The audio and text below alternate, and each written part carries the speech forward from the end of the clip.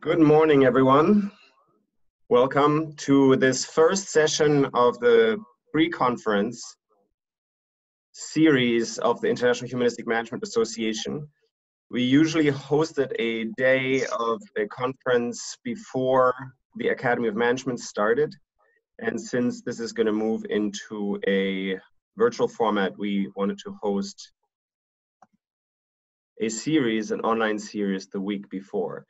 We're very happy that you can join us.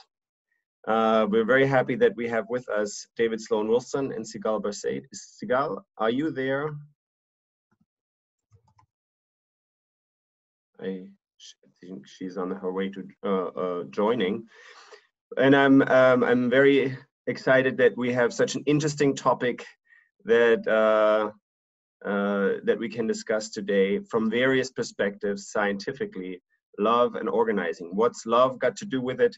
We know that love is a major phenomenon in public life. Therefore we have numerous songs pop songs that that have it in their title. Uh, we hosted a session at the academy of management last year that uh, we named all you need is love. This is a follow-up so to speak and we used a different title what's love got to do with it? And the question i think is pertinent. In what way are we uh, using the concept of love to inform organizing uh, management or business studies.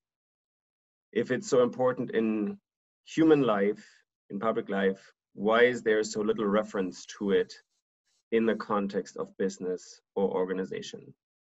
And with us today, we have David Sloan Wilson, a noted um, and very prominent uh, evolutionary biologist who has been a partner of the International Humanistic Management Association for some time. And his work, we think, fits very neatly in, in helping us to bring about this consilience of knowledge that can form uh, a new paradigm, a humanistic paradigm, so to speak. And um, we'll get started with David.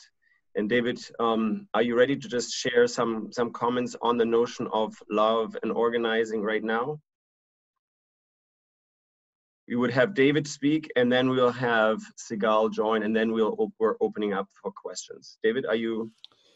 Yep, I'm now unmuted. And uh, uh, Michael, just give me some minutes, a few minutes, uh, because we have so many great people here. I know that we want to move to discussion as soon as possible. So let me just make a, a few comments. Hello, Sigal, there you are. How are you? Hello. Hello. Hello. Pleased to meet you. This is this very, is the first time. Yes, very nice to meet you. Thank you, Sigal. Well, I I always feel lucky and a bit of an outsider at venues such as this because I'm trained as an evolutionary biologist and I study all things human, and that includes business plus so much more. And uh, there's a message even there starting out that I think that we're starting out with a bit of a handicap and that the narratives surrounding business are often uh, make it seem like that it's a different enterprise than other kinds of enterprise. When we say, you know, we're doing business, it's like some kind of different set of rules are are operating, and that's exacerbated by the entire economic orthodoxy of Homo economicus, um, rational choice theory, greed is good, which is uh, been so influential in the business world. And in order to recover from that, I think we need to realize that a, uh, an organization, especially a business organization, is first and foremost a group of people that are attempting to cooperate with each other, not different from other groups. And it's against that background that when we consider something, so, uh, a concept such as love in a broad sense, in all of its usage, then let's start there and then move quickly as to what love mean in a business um, context. So love is, in the first place, an emotion. It's an emotional state, but it also leads to action. And if a loving emotional state did not lead to loving action, which is basically acts of giving, uh, then we wouldn't call it love. I mean, uh, uh, love has to be love has to be expressed, and so what we're talking about is a situation in which people are very, very strongly attach very strong value to what they're doing. And the word love is used in the workplace. Some of us are lucky enough to say that we love our work. And what that means is, is that our work has great meaning for us. And often in common language, we say we love our boss, we love our coworkers. What does that mean? It means that there, there's a wonderful helping relationship that's in place there on some kind of common uh, enterprise. And so I think that the word love fits into a workplace environment just as well as any other environment. And that's a, I think we've made a big step in, in just making these points, which are somewhat obvious, but uh, still need to be stated. But the next point I want to make, and I'll make it the last point so that we can move briskly along here, is that, of course, love is vulnerable. When we love someone, or when we act in a loving fashion, then we are freely giving of ourselves, and giving is inherently vulnerable to taking. And Sigal's colleague at Wharton, Adam Grant, has, says wonderful things about this in his book, Given, Give and Take, giving, taking, and matching as, as strategies which exist in the business world. And the message of uh, Adam's message is the givers do the best and the worst in the in the business world. Givers do spec- spectacularly well in the business world as long as they surround themselves with other givers. And they fail spectacularly when they're surrounded by takers. It's that simple. And so what this means is, is that in order for love to exist in any context, including a business context, it must be protected. It must be protected against taking and various forms of unloving behavior. And that protection can exist in two forms. A superficial form is that we can find other trustworthy individuals, other loving individuals, and surround ourselves.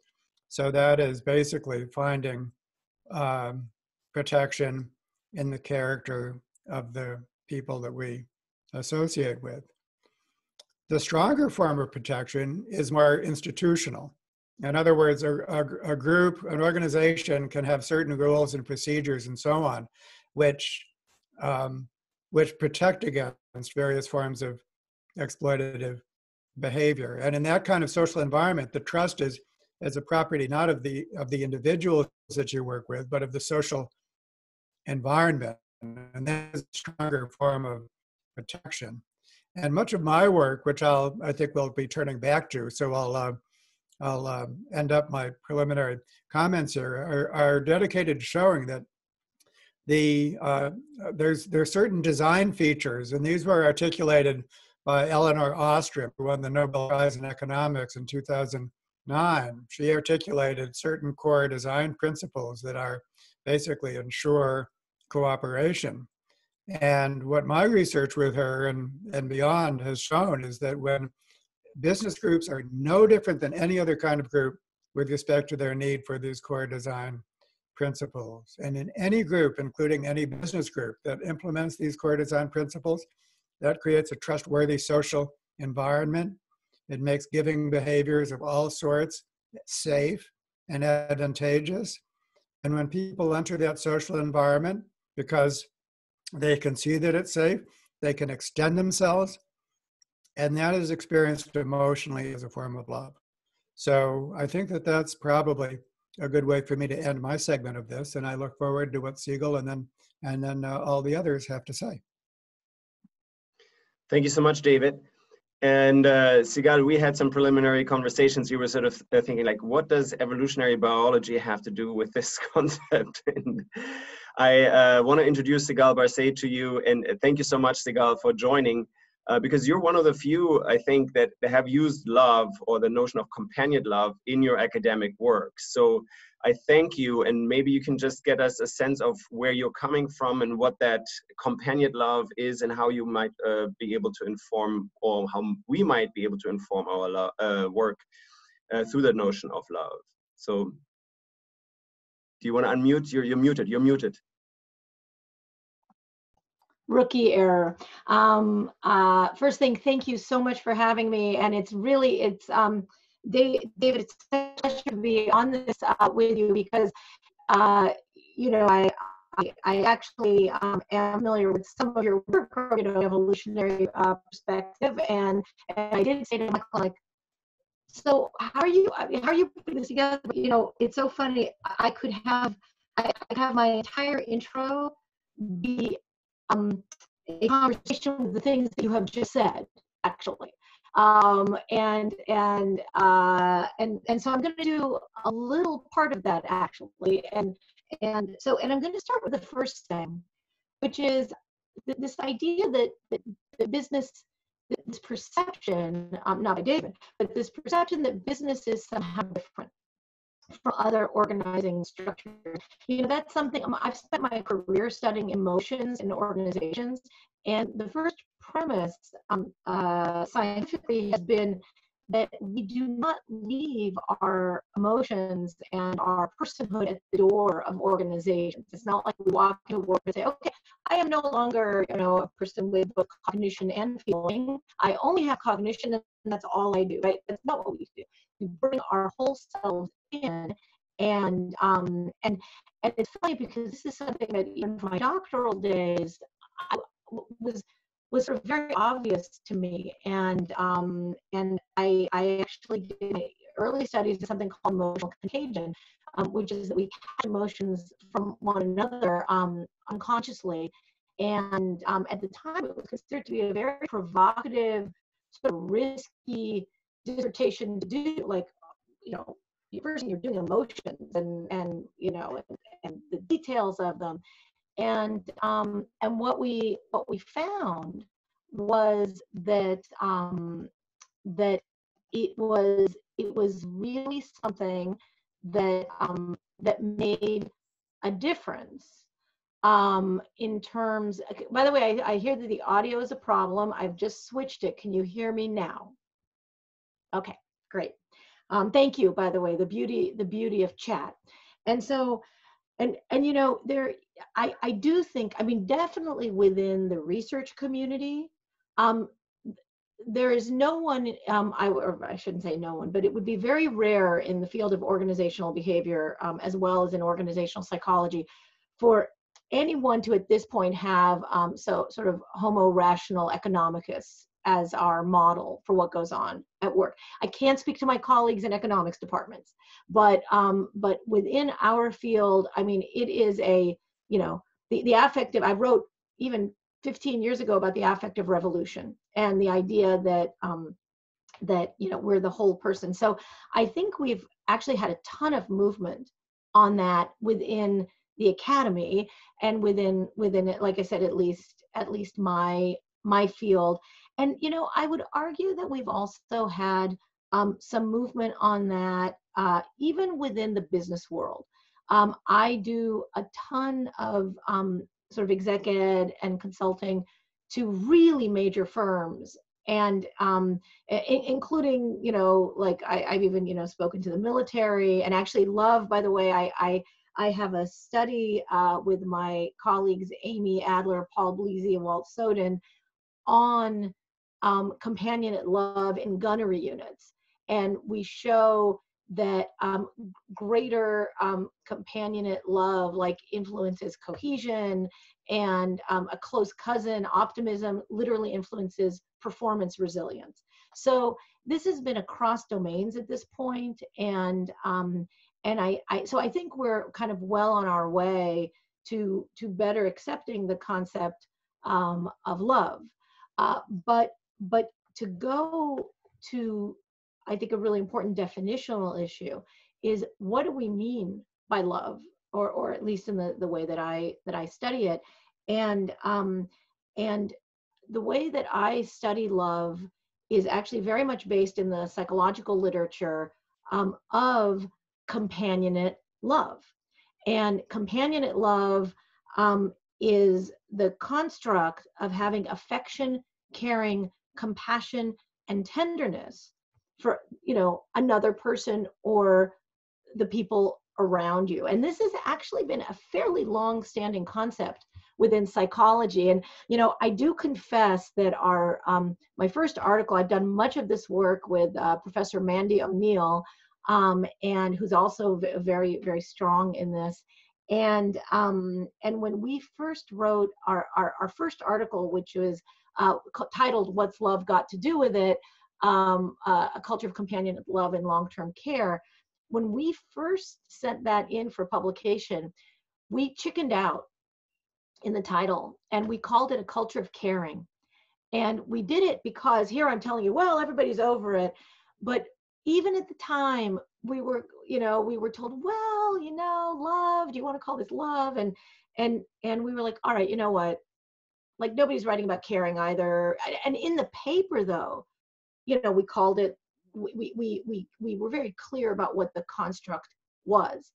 And um and actually, uh, you know, we often we often you know get upset at our reviewers but in in this case the reviewers were really wonderful because they were like look this is love that's what you should be calling it and um and and i have to say that you know if i if i uh, walk myself back a little bit about the openness of all of industry um there definitely have been times uh, where because when i do this now i you know I call it love. And I remember giving a talk at HBR, and I'm like, this is probably the first time love has ever been spoken about in this, con- you know, in this room. Um, but so I now really insist on it, and I definitely have had organizations are like, well, could you call it caring? Could you call it something else? You know, so there are. What one guy said to me, you know, I really I really would like you to come speak to my company. It was a financial service firm in, in Britain. And he said, but I can't even get my employees to say they love their wives. I, I don't feel like they're going to be able to say that they, they love each other. So, you know, so I'm going to walk back a little bit of my everybody understands love. Um, uh, but, but I am now very clear though, when I speak about it, that it is companionate love. And from a kind of Greek perspective, it's probably the closest to agape. Um, if you're, if you're kind of going that route and um, and it's interesting because from an evolutionary biology perspective um, we, we we do not um, we do not put it together with altruism specifically but um, um, and in and in the, our field altruism is kind of a different construct but that doesn't mean that altruism couldn't be an outcome variable of companionate love and um, and that's another point um, david that you made which is that love leads to action. And, um, and that has been really the basis of my research in this field, which is that we look at the outcomes. Now, we, we look at like literally um, sometimes behavioral action. And, and so, for example, I have a study in long-term care that, um, that showed that uh, when, when people had uh, companion, a culture of companion love, and I want to I want to get to that in a minute too. But there was, for example, less absenteeism. So that that's a hard metric, right? That's and we look at a lot of soft metrics like teamwork, uh, status. So so for example, David, something that you would predict in this study that Mandy and I, Mandy O'Neill and I did in the long-term care facilities, we found that when you had a culture of companionate love among the staff, um, that that then led to um, to uh, greater self-reported teamwork, um, greater individual satisfaction. Um, and so this is kind of an interesting cross of the individual gene and the, I mean, I'm being metaphoric, but you know, it, it wasn't, it wasn't just, um, you know, it wasn't just at the group level, it, it influenced them at the individual level inc- and vice versa, including less burnout in a field where there's a lot of burnout um, as as well as as I said, less absenteeism. But what we also did is we looked at performance, and we looked at performance in how the residents were feeling in this long-term care facility. And what we found is of those residents who were able to speak, because um, a lot of them had dementia, they reported higher quality of life, more dignity, more satisfaction when they were on units where there was a culture of companionate love among the staff people.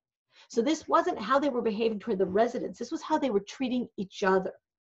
Um, we also found for those who we, we, we got ratings of mood across everybody and from outside raters, and they found that there was more, um, that there was greater positive mood, even for people who, who ha had Alzheimer's or dementia. And you who, who couldn't do a self-report. And then finally, we also found that families were more satisfied with um, the unit if there was this culture of companion love. So it rippled out all the way through the community. And and um, the other thing I want to say here, and again, this this relates directly, David, to what you're talking about, is um, this idea that um, that love needs to be protected in the environment and you said you know one thing you can do is find your find other people around you and that's one way to protect and then the other way is institutional with rules and procedures. Well i think i have um, a combination of those two um, which is that most of the work that i have done in fact now that i think about it all the work that i have done on companionate love and at this point i've done um, quite a bit that's in process and kind of under review as well, um, has been the culture of companionate love.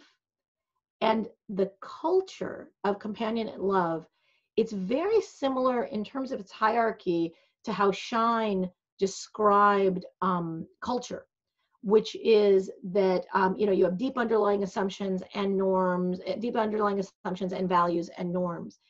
But rather than it being what we call cognitive culture, which is what almost the entire field of organizational behavior is focused on, which are how you think about work and and ideas and cognitions and how, for example, results orientation or innovation.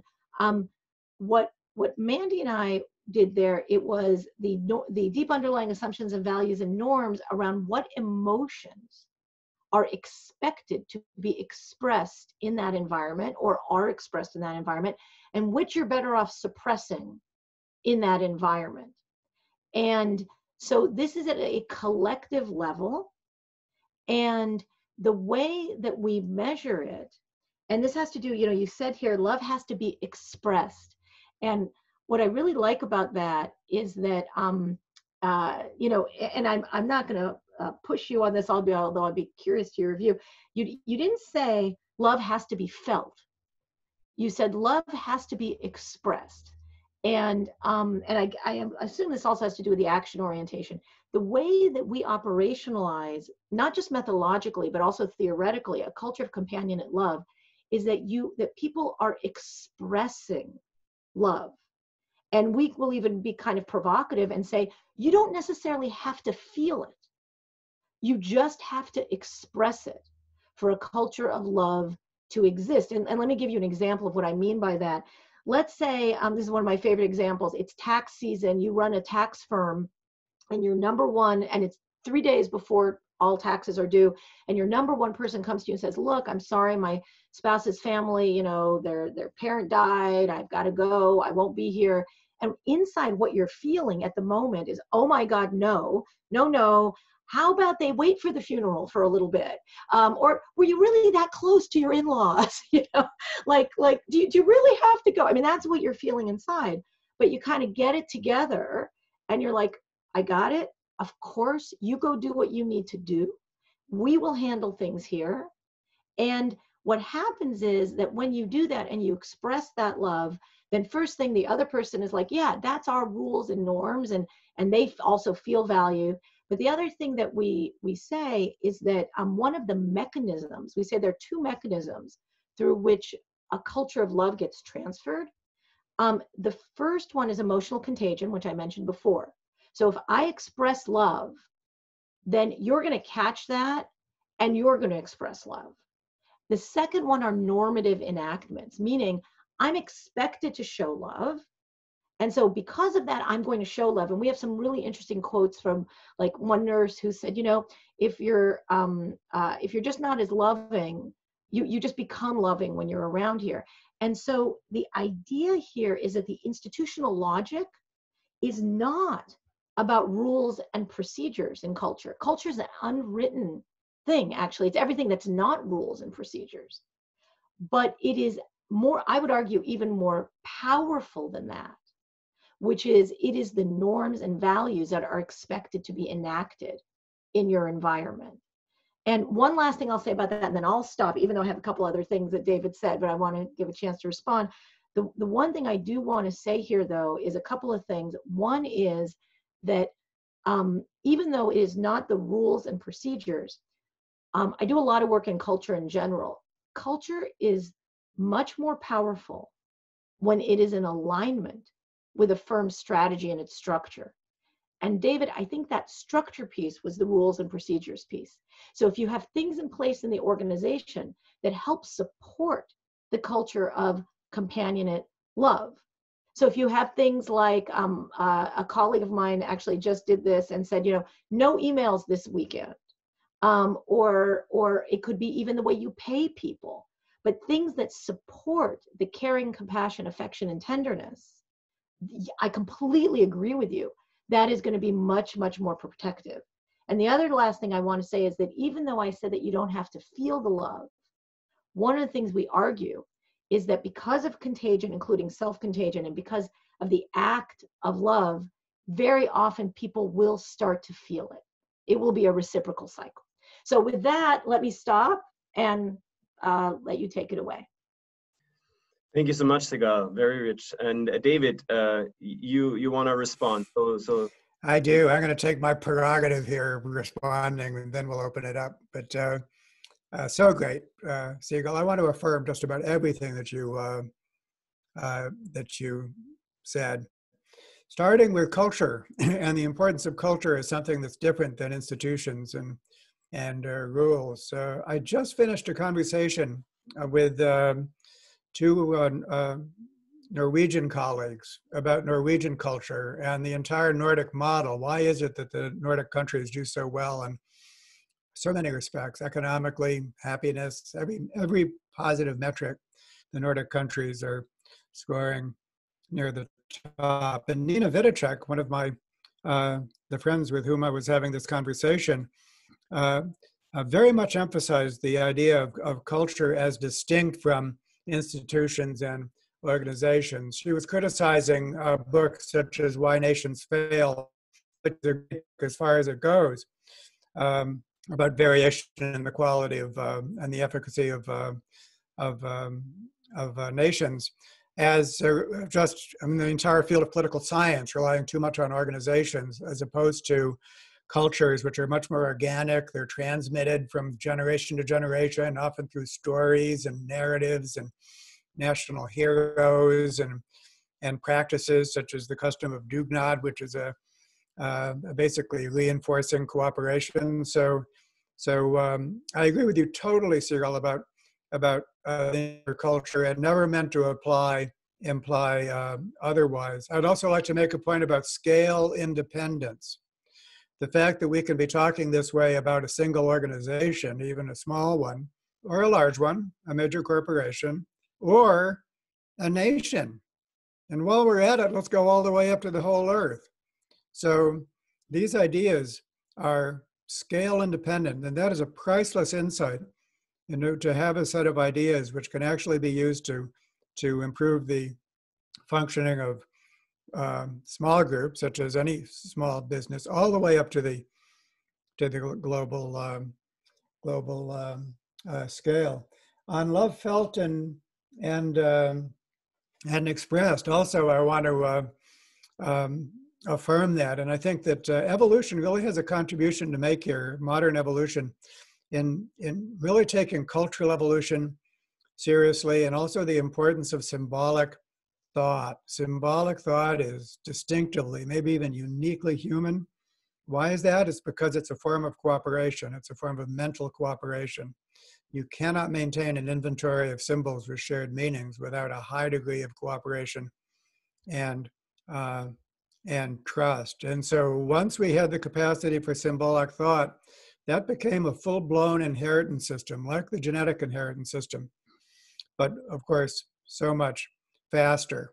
And so as soon as we begin to think about our symbolic systems as like our genotypes, like our genotypes, then we realize that in order to the relationship that, that there's a inextricable relationship between our inner lives and our outer lives. The way we think about things is what leads to action. And so therefore we must work on the way we think about things in addition to um, to how we behave. And there's a feedback relationship, which Sigal, you also uh, mentioned. I'm reminded when I was studying religion as my main topic, I, I learned that Judaism is a kind of special this way, and that uh, this Judaism is, is pretty forgiving of, of non-belief. You can, I, I was told that you can go to your rabbi and you could say, Rabbi, I just cannot believe in a higher power. The rabbi says, well, don't worry, practice. And actually, it might come to you. So that feedback between between practice and, behavior, I think, is. Uh, and when we work with groups ourselves, Sigal, I'd love to compare notes with you and everyone else on, you know, how do we actually work with groups? We borrowed techniques from mindfulness-based therapy. And the way that works, basically, we begin with our values. We're a group, it could be a business group, any other kind of group. Why is it important to us? What values does it represent. So you work on the values component, that's inner. And then immediately you ask the question, well, what, how would we behave on the basis of these values? And you achieve a consensus around that. What are the behaviors that will actually take us towards our valued goals? Then you hop back into the mind and you say, well, what are some of the mental obstacles that get in the way of this? And so many of us as individuals and even more as groups, we have these, you know, this, these things that hook us and that cause us to do things that are counterproductive, take us away from our valued goals, and so on and so forth. So basically, it's a dialectic between inner and outer. And that has to, and it's, and it's all based on aligning practice with value. So I think that some version of that, and some version of that has been invented again and again. That's another point I want to make. The, the management field is so sprawling that just as Elinor Ostrom, her Cognitive Research, look at any kind of group, including management methods, you find a bell-shaped curve. You find that they vary in how well they work from the best to the worst. And the best have converged upon best practices and best um, principles. And really the, the advance is to unify those, to really have some stronger scientific and theoretical sense of what works and doesn't work so that we can go beyond somewhat encapsulated change methods that uh, that are that do work but are quite local in their expression. So much more to say but i'm going to end actually uh, sigal when you mentioned the military i think that's such a fascinating example because on the one hand you think uh, uh, you know fighting is the farthest away from love, but of course that's not true at all. And that uh, and that talk to any soldier, and my father among them, who described his wartime experience as both the worst time of his life and the best time of his life. And the best time of his life was the bond that he felt, the band of brothers that he felt with his fighting uh, uh, uh, partners. And I do want to say one more thing. I'll be as quick as I can, but it's so important because the greatest culprit, I think, impediment to our thinking is individualism.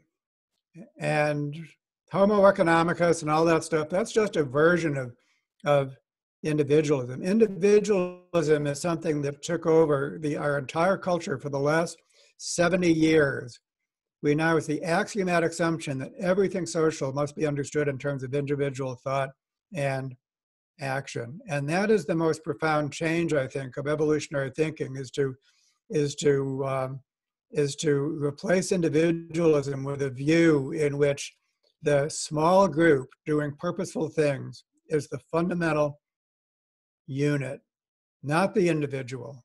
Individuals were never alone. Throughout our history, we lived in small and, for the most part, highly cooperative groups, looking out for each other's survival and reproduction. And so that is the natural human social environment which manifests itself in military groups that are working together in, in literally life and death situations.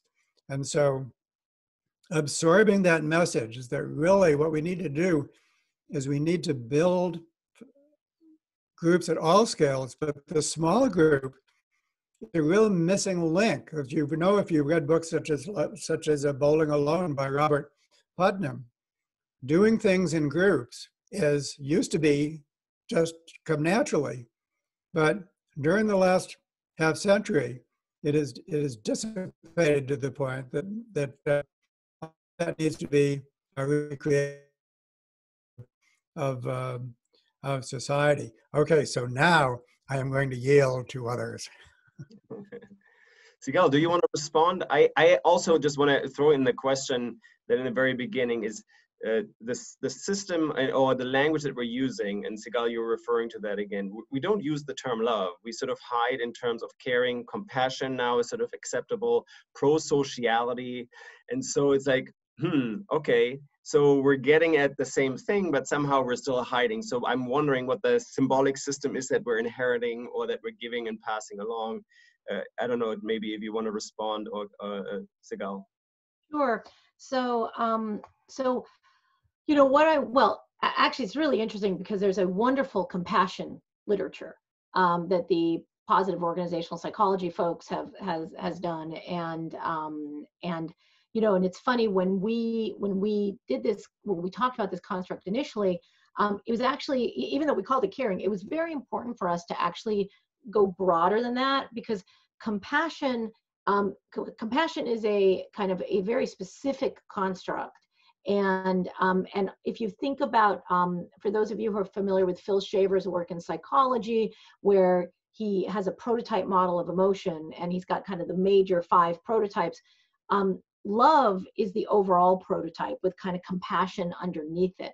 And so um, so for kind of exactness purposes, we we really wanted sort of the bigger construct, but of course it goes back to that um, almost more um, political uh, kind of feeling of like, well, can you, you know, can you even say love? And that's why one of the things that, you know, David, you you mentioned the, you know, my my study with the army and the army and and a couple of the the uh, comments have mentioned about that too, is you know when when um, I approached my my colleagues there, um, uh, you know, they they were like, oh no, this is obvious that we have love in the military like like that is that you know it was not shocking there was one interesting thing though um, from a uh, measurement perspective which was that um, that when we gave the scale of affection, caring, compassion, and tenderness. It's actually, by the way, anybody who's doing this in organizations or who's a scholar, like this is not a, a, hard scale. I mean, it is literally, you know, to to what degree do other people in your work environment express the following emotions and those four items, um, and and it predicts phenomenally well. Um, but but the one item in the military context that did not hold together as well in reliability or the factor analysis was actually tenderness, which is interesting. So affection, caring, and compassion, yes. Tenderness, not so much. And that also gets me to um, a, a small point I want to make about measurement. Because I think that measurement, I think part of the reason that people resist love and even emotions in general in organization, including some scientists, is like, well, how do you measure this, right? And um, and again, there are different measures, and it's funny because um, I tie, uh, probably for, for no good reason, but when I tend to think about kind of evolutionary biology, I tend, uh, when I'm not thinking about small, you know, protozoa or something, I tend to tie it more to, um, if there was a measure, it, I tend to tie it more to the anthropological side of things, which is kind of deep ethnography. Um, and that could be actually, and David, that could be completely wrong. So, because uh, not to bore people, but but there used to be in the 80s, there was a very big debate in the culture literature um, because culture was really owned by anthropologists. And anthropologists believed that it was near, near heresy um, to try to quantify empirically, you know, with numbers, a culture. What you needed to do is you need to go in, you need to do an ethnography, you needed to let it build, you needed to be organic. And I think that work is tremendously useful and I don't have any problem with it. I don't see it as an either or, I see it as an and. Um, but but we um, but my technique and I I was I was you know my approach is more quantitative, and so a, a question I often get um, is well how in the heck do you measure emotions, right? Like how would you even like measure love? And um, and in that first study, we used that as a place to really establish the construct validity. And we had three different types of measurements. The first measurement, and the one that I think probably was the most convincing to, to, to people, was that we had um, observers on the unit who regularly observed the staff interacting with one another and then rated them on a scale on these four dimensions, but they were observers. Then what we had is we had um, the the staff themselves rate but again we we didn't ask how they felt. This isn't a group of i do a lot of work in group emotion in general. This is not a group emotion measure. This is not a this is not an aggregation of how people feel. This is their view of what they see around them. So they're serving as informants in essence. And then finally we also looked at cultural artifacts um, so what were things on the unit that indicated love? You know, pictures of people's families. Are they celebrating birthdays? Are they helping them each other out with coffee? You know, things like that. And so, um, so that's how we went about measuring this construct initially. Um, now, when you're in organizations, you can't always have a you know um, uh, an observer on the unit and you can't always be able to go in and look for cultural artifacts but you can almost always be able to get people to fill out a form in a very short form describing their environment. And because of our first study we know it correlates with all those other things and it really helped to um, to to establish the construct. And so um, so there are so basically there's lots of different ways to measure emotions including love but but again i really like as it relates to at least a culture of love the expression part is key for me i also do want to address one question um, in the in the chat which was gareth craze's question um, which was um, do you think that building institutions to promote companionate love in the workplace could work as a form of long-term emotional counter contagion or a positive contagion spiral against the contagious nature of workplace depression. And the reason I, I really like that question and wanted particularly to address it is that um, I have a study with Mandy O'Neill and another colleague, Francesco Seguera, that we did um, uh, in a hospital. And we looked at all the units across the hospital at the culture of love on the unit. And in this case, what we found and predicted and found was that a culture of companionate love could serve as a buffer. In this case, it wasn't a culture of depression, but it was a culture of anxiety. And what we found was that there was an interaction effect, which is that when you had um, a strong culture of anxiety and a weak culture of companionate love, you had more burnout, less satisfaction, and less psychological safety. Um, but if you had a strong culture of anxiety and a strong culture of companionate love, that effect went away. So you you you didn't have the say you have less burnout, more psychological safety, and more satisfaction. And that what a culture of companionate love does, we posit, is that it serves as this buffer because we can be anxious for many things about many things. This also happened to be a hospital that was like one of the lowest performing hospitals in the country, and so there was there was a lot of anxiety among the um, among the employees. But if they were if they were cocooned by being surrounded by a culture of people who, with whom they shared companionate love, it was powerful enough to put them in a position i'm sorry i should be clear they had the same level of psychological safety and and um, burnout um, as did people who were in units of lo- of lower anxiety. So it literally brought them down to the same level as people with lower anxiety. And the other thing that's very cool about this study and this is one of the first studies that is shown in general that culture can influence financials we showed that this same effect occurs with costs. So on units in which there was a, a strong culture of companionate love um, and a strong culture of anxiety, they had costs at the same level as units with low culture of anxiety. And the worst was if you were a strong culture of anxiety and a, and a weak culture of companionate love. So, um, and this is literally, like I said, this is literally on cost variables. And our whole point in that study, though, was the interaction effect, was the protective effect of a culture of companionate love.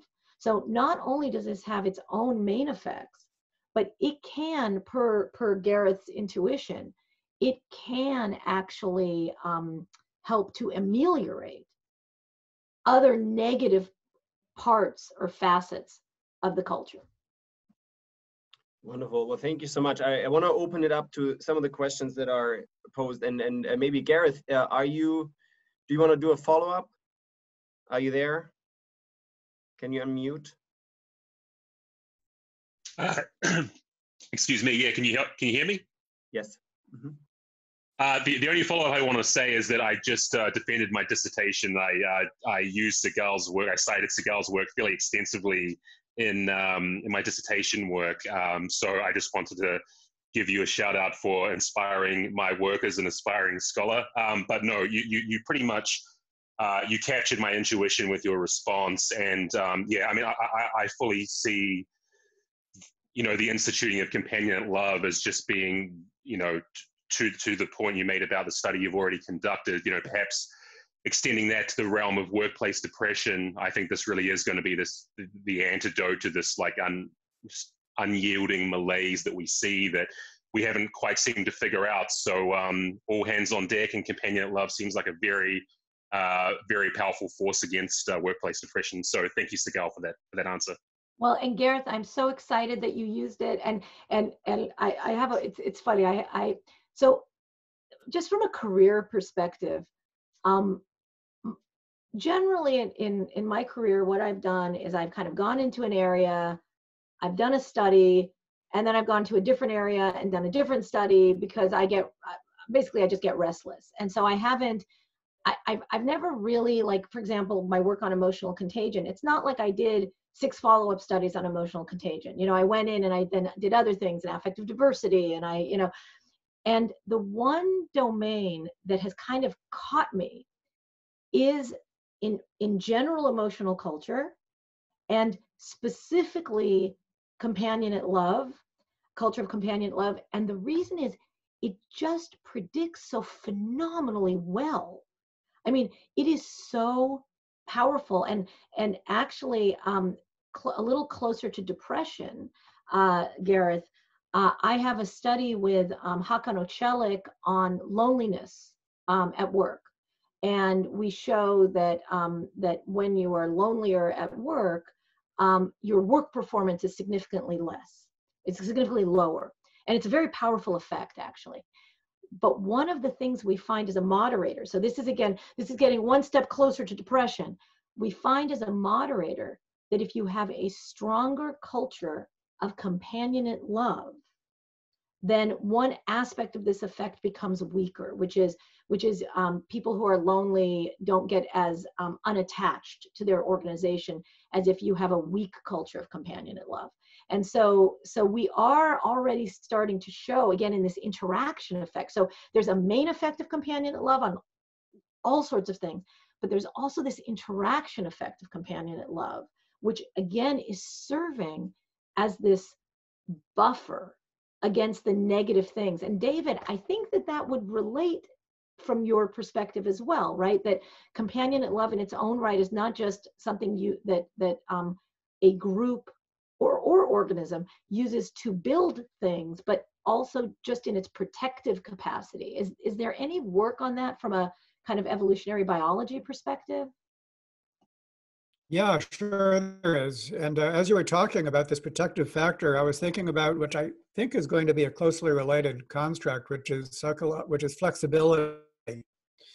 And uh, there's a lot of literature on showing that, uh, first of all, people and organizations vary in their ability to moderate stress. So basically, if you have stress, anxiety, if you're in a stressful situation, and if you're not flexible, then uh, that leads to various dysfunctions such as mental illness and so on. If you're flexible, then that moderates stress. You haven't you haven't eliminated stress, but uh, what you have is you've um, eliminated or moderated its negative effects. And a plus for this is adaptability. Flexibility is basically that under stress, you process it in a way that causes you to do new things, basically, that are more adaptive. And so this, this, uh, and we haven't really been talking about flexibility or adaptability, which every organization needs. I I'm shocked. I'm just a kind of amateur. We're reading the management literature, but from what I've read,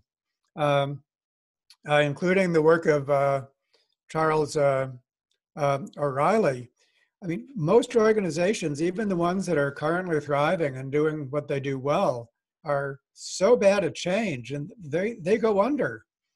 I mean, creative destruction is typically the way change happens. The number of businesses that actually are adaptable and are still standing after even you know 20 or 30 years is a very small fraction. So isn't it great that while we're talking about all these great um, um, manifestations of uh, love and compassion, we could add adaptability to that list.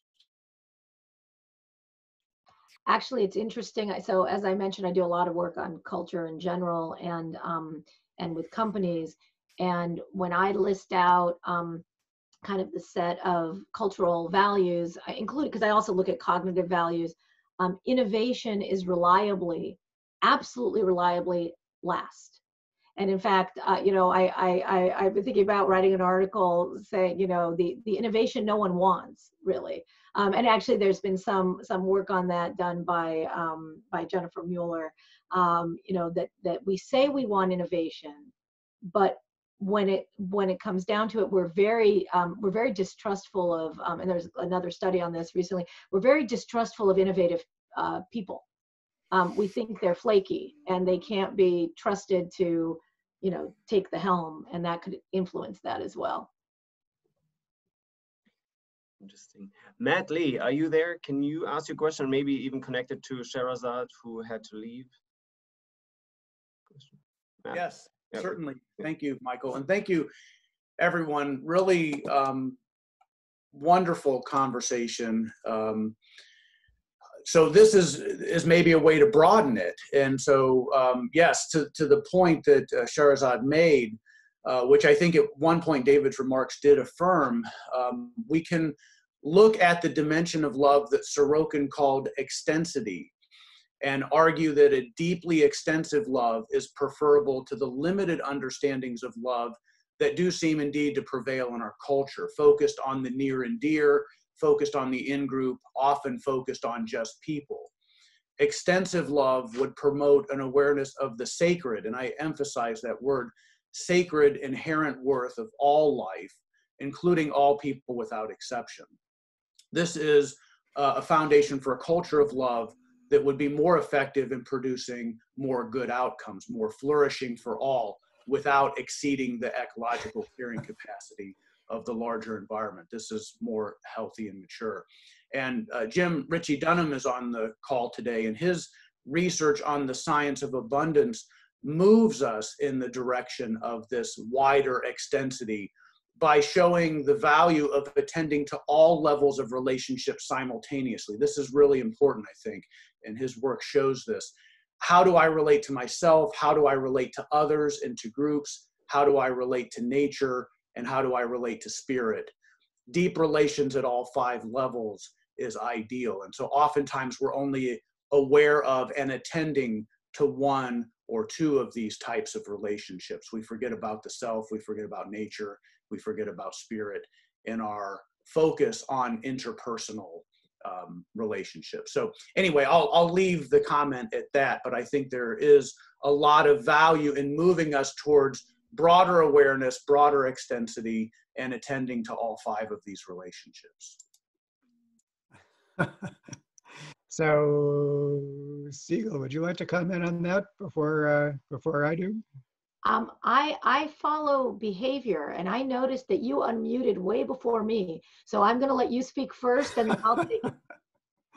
well, I mean, it's not enough for us just to talk about love. We have to talk about spirituality too, um, to further alienate ourselves from some segment of the management community. But uh, uh, what you said is so important, uh, and um, gosh, where to uh, uh, uh, where to begin. I mean, one way to begin, and this is very much a, an implication of multi-level selection theory, is that um, is that uh, cooperation at any scale becomes selfishness at higher scales. If I'm a selfish individual, that's bad for the group.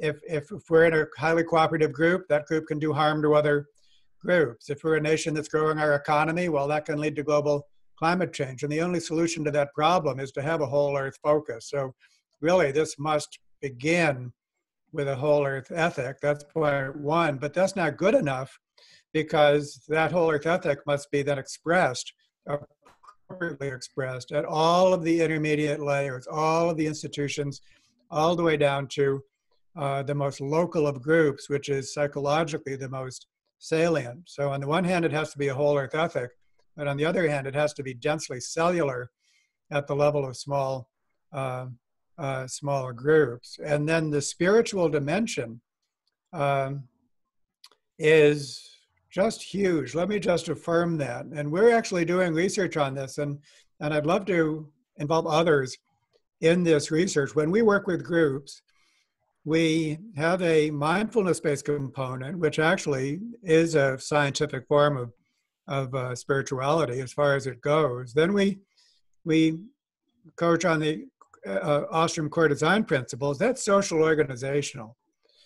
Uh, in addition, we're beginning to coach on on on spiritual uh, principles as well. There's a number of uh, of uh, of uh, universal spiritual um, uh, principles that can be coached and with practices and and so on. And when you look at spirituality in its most general form, then what it does is it cultivates a state of mind that that leads to selfless service, basically. When you regard something as sacred, you're placing it above you. You're saying, there, there's something out there that's more important than my concerns. I'm going to dedicate myself to that thing. And that thing might be the purpose of the group, and of course, to serve a wider purpose. So, to have a strong sense of a spiritual access to, to a group uh, just goes such a long way in resolving potential conflicts between the individual and the group. That's what it's all about. That's why it exists. That's why it evolved. That we have this spiritual sense, and so we should be we should be uh, uh, making the most of that and experimenting with it uh, as much as possible. And my um, my response is I, I think it's fascinating, and I think um, I think that that you know broadening this construct um, uh, could, could lead to some really really interesting things in terms of um, kind of where it's coming from. I I think that from an organizational perspective, um, the the one place I could see it um, playing in at least today is so so at this point, I've done a tremendous amount of work looking, or not tremendous, but it, it more than I usually do, looking at the um, outcomes of companionate love, either as a direct main effect or as an interaction effect. And, and a lot of that has been just to see, does this influence um, organizational life. I mean, you know, so much of the initial resistance would be, well, it doesn't matter, which of course surprised that like like i'm like how how could anybody be surprised that a culture of companion love is going to lead to you know better teamwork and more psychological safety more i mean it just seems so obvious. Like this does not seem like a kind of a groundbreaking thing but you need to sort of prove that no no love has these you know practical organizational effects. But one thing that because of that we haven't done as much in the research literature and i would really encourage other people to do is looking at the antecedents of companionate love. So what is it? How, how, how does companionate love occur?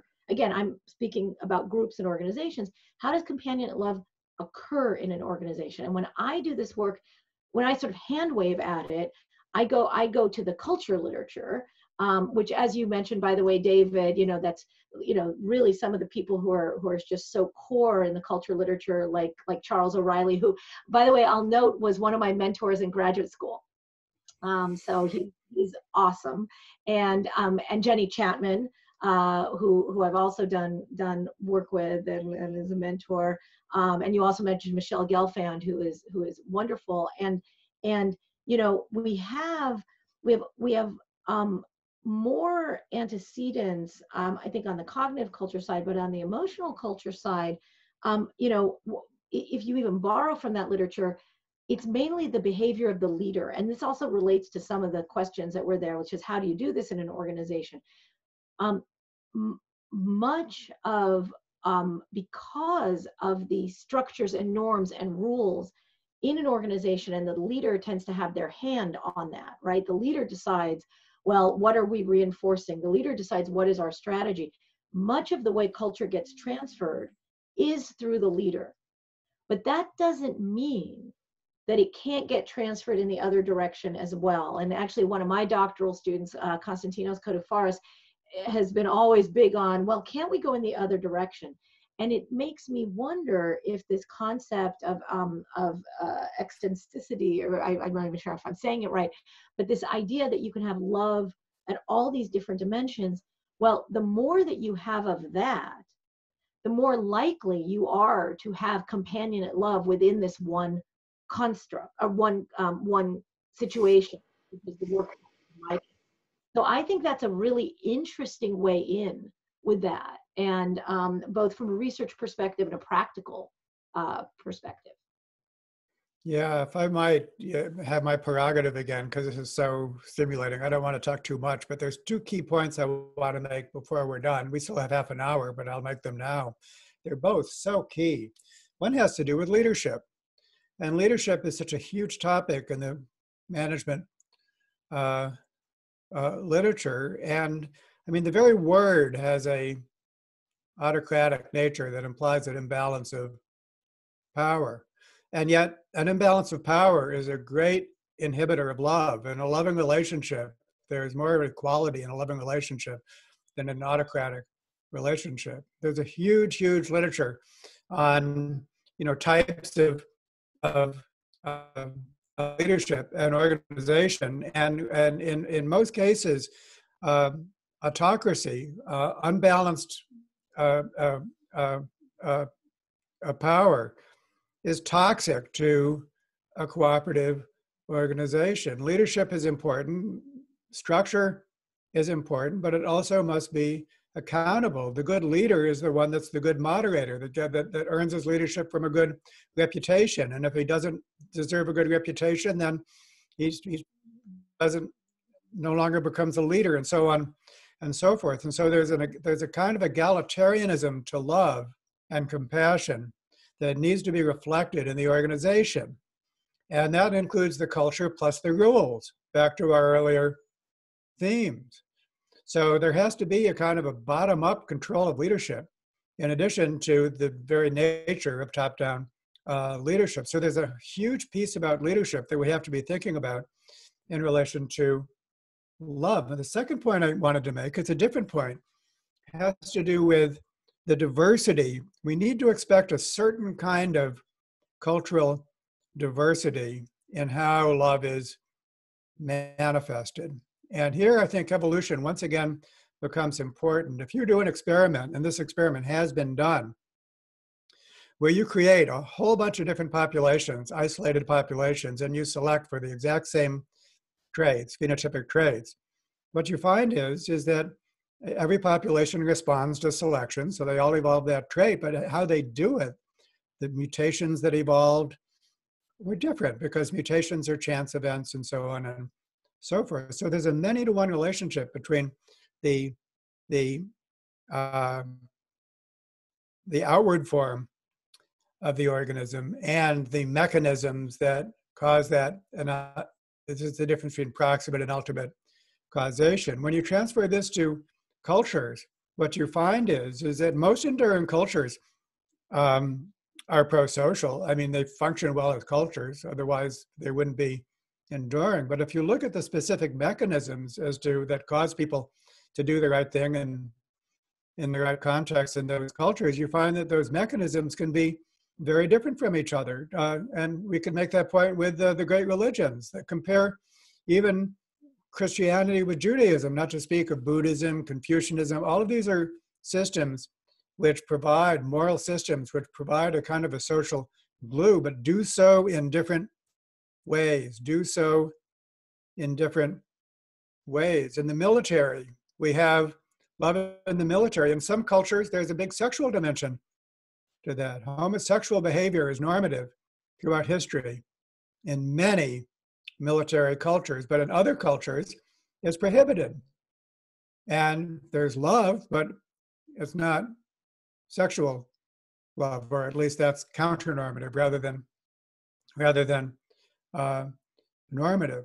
And so we should expect when we encounter, and, and everything I've said at a large scale shrinks down to the scale of single organizations, especially when we put in cultural variation. So, you know, Chinese corporations versus American corporations and so on and so on and so forth. So what this means is, is that although there will be a strong connection between the inner and the outer, always, that inner is going to be variable. And we better know that because if we don't actually know the mechanisms that are resulting in the expression of pro-social behaviors, then we will likely interfere this kind of diversity, I think, was inherent in the in the distinction between proximate and ultimate uh, causation, if you become familiar with evolutionary terms, is uh, very, very important for us to keep in mind.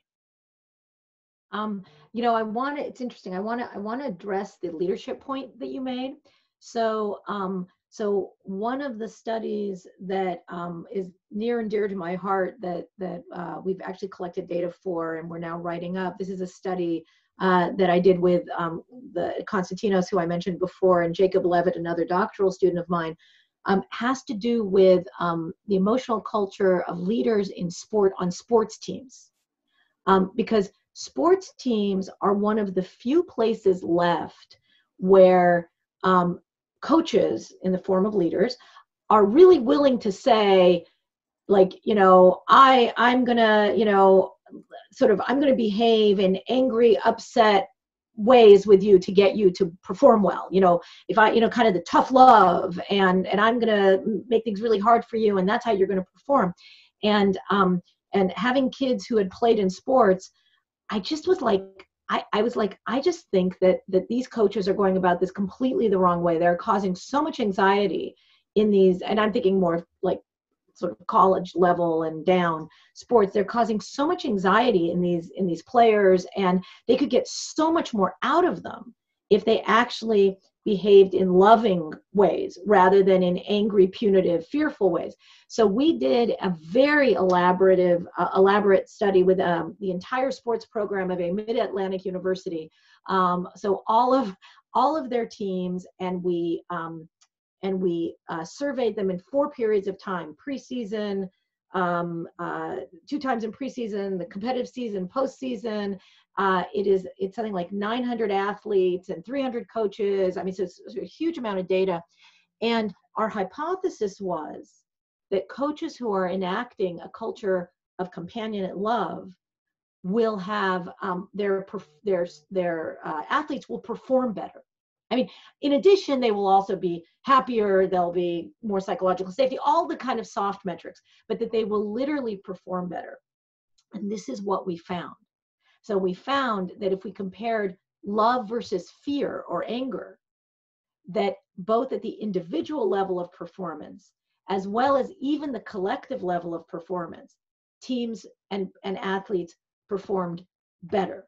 So, um, and, and what, um, and again, for me, this is like, well, this seems kind of obvious, but I'm hoping that maybe this will change something in, in, in their world, but also from a broader organizational perspective, that that this was um, that that this is a signal to leaders that if you behave in a way that has more affection, caring, compassion, and tenderness for your people, they will perform better, which is one of the things that you want. And I wonder, David, I mean, I, I don't find um, the, the term um, leader as um, as, as uh, noxious, uh, perhaps, from the hierarchical perspective, particularly after seeing lots of leaderless teams flail about. but I wonder if the companionate love that leaders are showing in essence is is reducing the kind of negativity part and this the social structure part that you that the negative part of that that you're talking about. So that if a leader isn't is is showing true care and compassion and by the way we looked at mediators. And the mediators that we found were people felt valued. Um, they that was actually the prime mediator. The people felt valued, but also that they felt they trusted the coach more and that they believed in the coach more and there was more of a relationship. So i wonder if that is serving the role um, that that in essence reduces the hierarchy because of the caring but has the benefit of keeping the hierarchy in the sense of organizational structure so i'm curious about your view on that well, and, and let, first... me, let, me, maybe come in with another question by Charlene Sietsma. Maybe we can connect this because it's sort sure. of the application of this.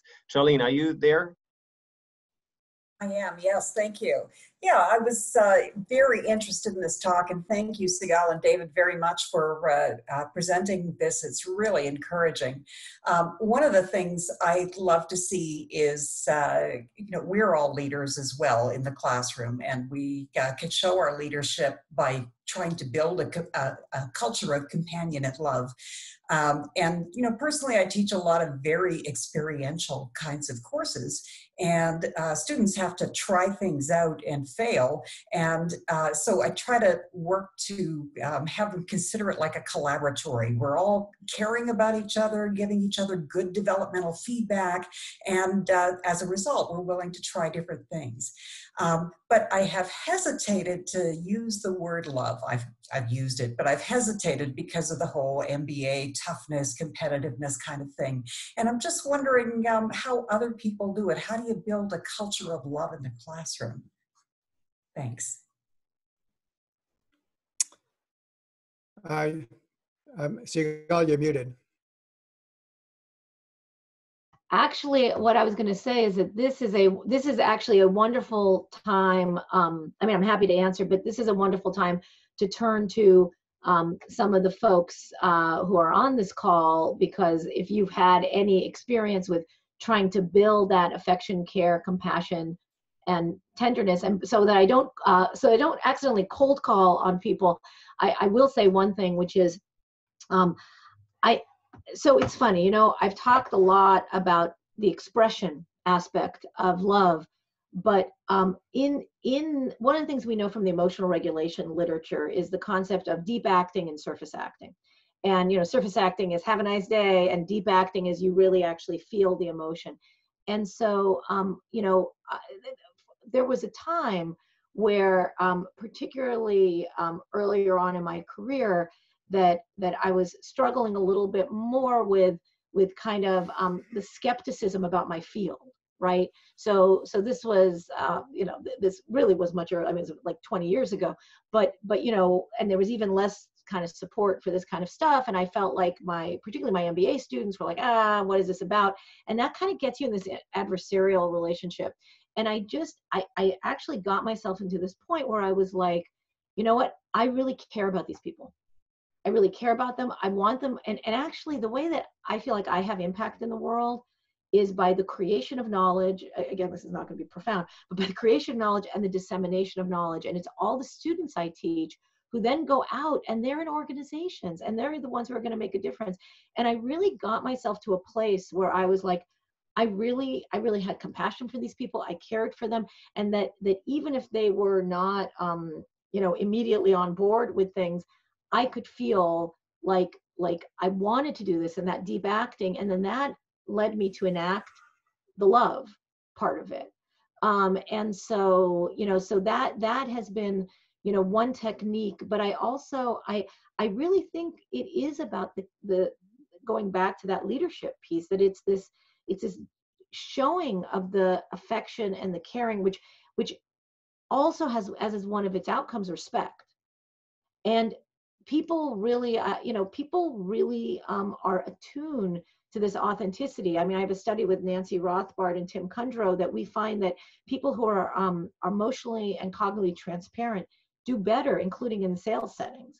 And so, um, so I, I, you know, I kind of had to get myself there to then be able to express it. But I'm curious, really, about other people, you know, in the classroom and what what they've done in that context.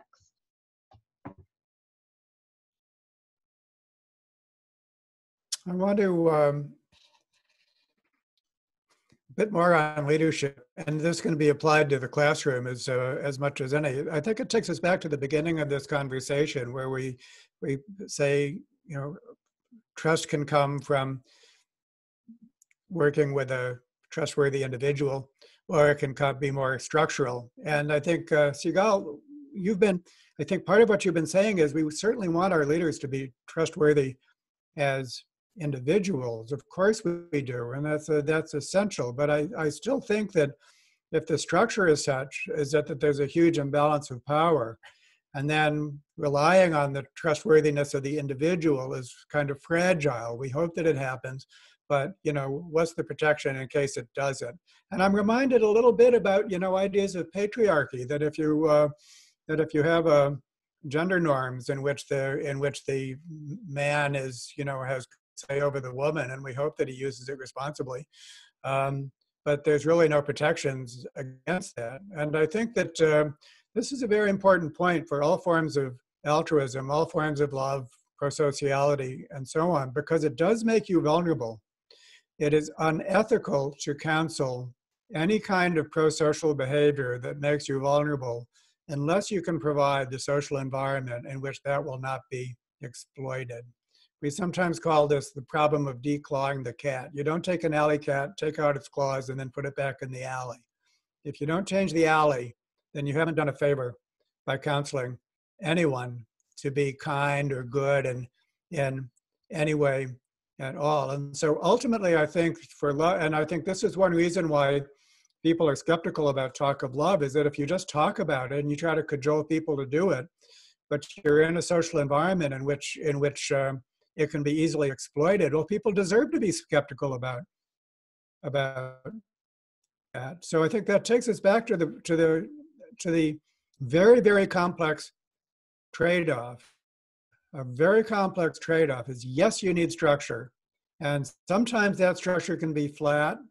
Sometimes it needs to be hierarchical. Sometimes you do need to invest a lot of decision-making authority in a few people, but be damn careful in how you do that and don't just rely on the trustworthiness of the individual because even if it's working right now it doesn't have to work you know and some future point of time that individual might change or there you, you might have a new individual and there and then where will you be so this gets us back to culture and organization yeah. in addition to the trustworthiness of the individual See, and i and i would say that that that yes and that that at, at, which is why um, when I do work with organizations, I so emphasize um, not only the culture. So yes, it takes you back to the culture. So for example, when I teach EI, um, emotional intelligence, one of the points I make, um, and and as it relates to culture, is that ultimately, if you want to know what what a group's culture is,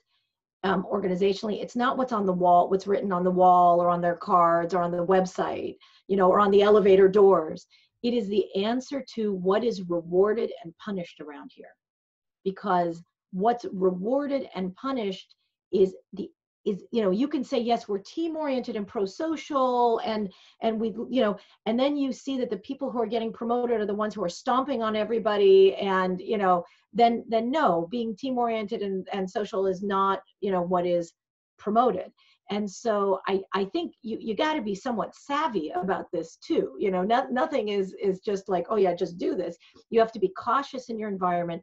You need the culture to be supportive because i have seen cultures for example where people have been demoted or even fired um, or and certainly not allowed to rise um, because they have behaved in ways that have been you know um, bad for other people and um, but if you don't have that protection then yeah you could really get yourself um, in trouble. And so but but i think i you know it's funny and again i wonder if this is um, kind of the longer versus shorter orientation But in our organizations today, the reality is that when a new leader comes in, um, and again, a question at what level, you are you do tend to be playing with a new ball game unless you have a strong culture. And then ideally they've selected a leader who matches the values and they're going to support that.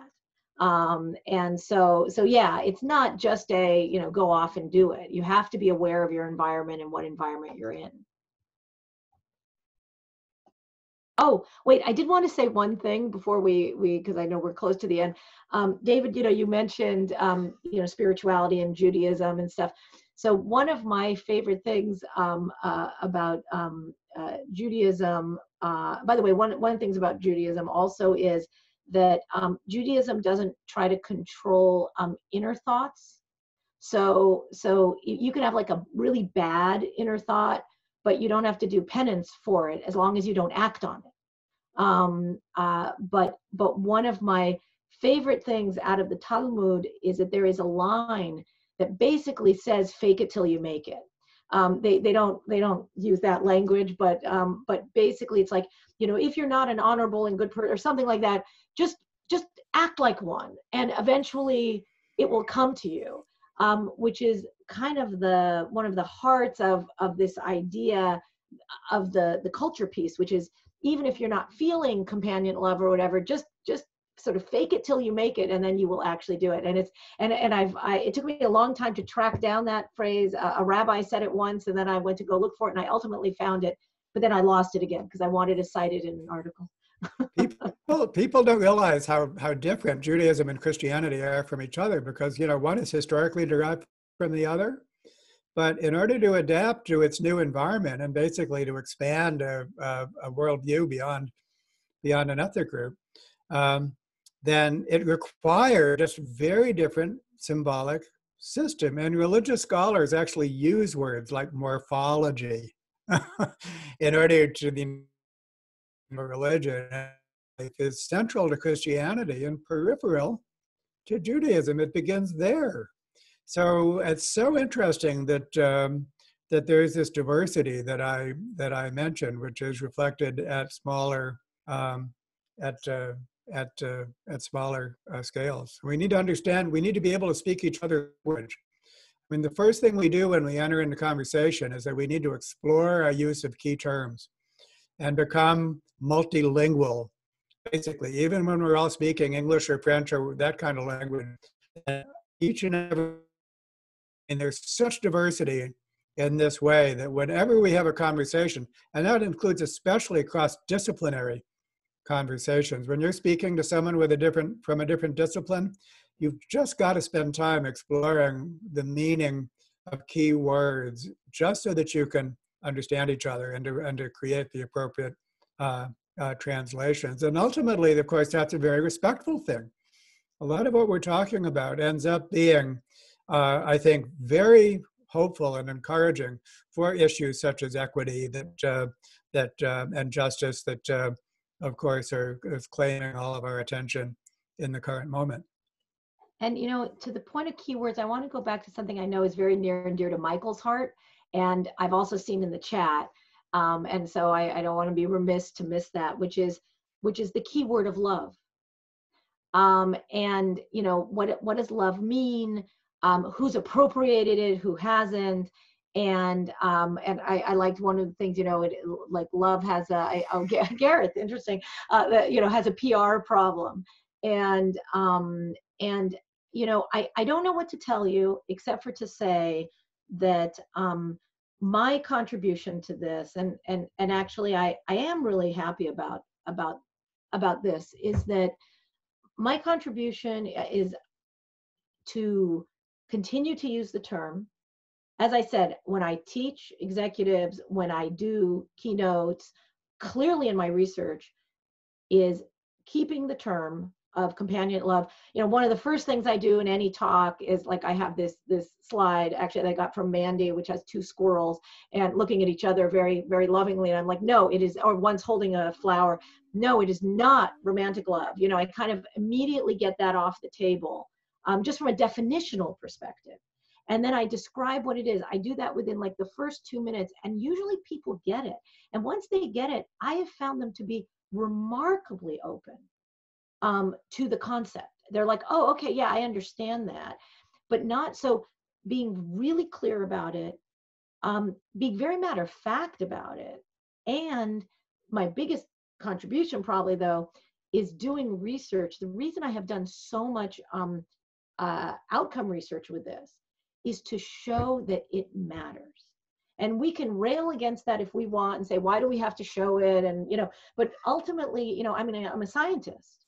And so I, you know, I'm not, before I'm going off to tell people, you know, yeah, this really matters and it's great and you should be doing this. Um, and, and again, I would take David's cautions uh, very seriously about kind of in which context, but I need to be able to show that it actually matters to something. And that is the kind of work I've been doing over the past 10 years, which is yes, this matters. And it matters in a whole variety of contexts, and that you can have a better functioning organization that is more productive, and your people are going to be better off. I mean, it really is a win win win across the board. And sort of that's my contribution to try to get out there as much as possible, creating the science and letting people know about the science. Um, and I, I, I should, you know, I've, I've been, um, I've been loath to write a book because there's just so many words in books, and um, and uh, there's you know, and the examples and this and that. But but but it, you know, per, perhaps if I was to do it, you know, maybe it should be you know a book, you know, about love um, as a way to get again get this research out there and and um, you know make it more legitimate in some ways for companies to. If, uh, yeah, if I could, uh, we we got to wrap up. Is that right? We uh, we have only a few more minutes. Yeah. If I could make a wrap up. Yeah, go ahead. Yeah, I'll make my my wrap up statement in less than than a minute. First of all, this has been so awesome. So thank you so much, Michael, for putting it to um, uh, together. I want to end with a basically a call to um, to organize that there really is something we need to do, and and uh, Sigal, I hope you write a book, but on the other hand, uh, uh, that's not going to be good enough. There's a lot of books out there, and then there's a lot of stuff that's out there. And I think the limiting factor, we need to actually think like cultural evolutionists and, and how we do this. I think there's a degree of cooperation among ourselves. Each one of us is doing great work, including great organizational work. Michael's organization building, I do organization building, but uh, they're still so fragmented. And I think that there is like a new plateau that can be reached in terms of this paradigm, this worldview, um, becoming better organized and then spreading itself uh, uh, uh, and uh, um, in comparison to competing narratives and basically making the process of positive cultural evolution take place much faster than it would otherwise. This is the kind of thing that could take decades and could take years, depending upon how we go about it. The idea of catalysis, which is familiar in chemistry, also exists for culture. So there are things that we can do to speed up the rate of positive cultural evolution, even by more orders of magnitude, and we should be doing that. And that includes books plus much, much more. So I think that I'm already working with Michael on these sorts of things, and you're all doing great work but we must do it in a way that I think that combines our, our capacities um, um, and enables us to reach a, a new plateau compared to what we're the great work that we're currently doing and I, um, I, I, you know, it's funny, which which harkens back to your point from the very the very beginning. You know, kind of the collective the collective action and um, and and Michael, I also really want to thank you. It is true when you contacted me initially, I'm like, but I don't understand how this would come together. And and since I mean, this has been just delightful. I mean, it's so interesting and and engaging. So so thank you so much. And David, really, it has been such a pleasure to have the opportunity to have this conversation. Well, thank you both. Thank you, uh, Sigal. Thank you, David, for for joining. And and this was really an organic kind of loving conversation with listening, sharing, and and building on each other. So I really want to commend you and just thank you, Sigal, for for for just jumping in. and, and I think this is a call, like David was saying, also to to see what are next steps because we are in a time where we need more love, not the romantic. Uh, simplified, stupidified one, but one where we really truly build on each other and, and recognize each other's dignity and build a uh, institution and a culture where we can all flourish. And that's been sort of becoming more and more clear. And I think we research is important. Research may be there. We know intuitively what we need to do. So this is also a call for those that want to be connecting more. Uh, so thank you all.